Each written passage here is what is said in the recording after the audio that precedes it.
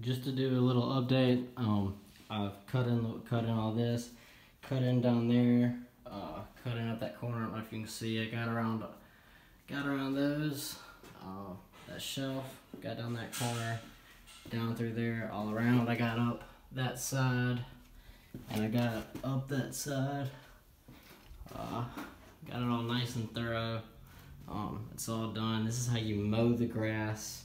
You know, we started at that end, we came down, went across. We've done everything on the bottom that we can reach. We went down here, got around that windowsill. Uh, you don't really, I even got, you know, up in there. I got everything up there, moved that to the side and got all in there.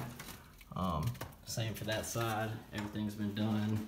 Uh, even the, uh, the the area right here behind the blinds has been hit.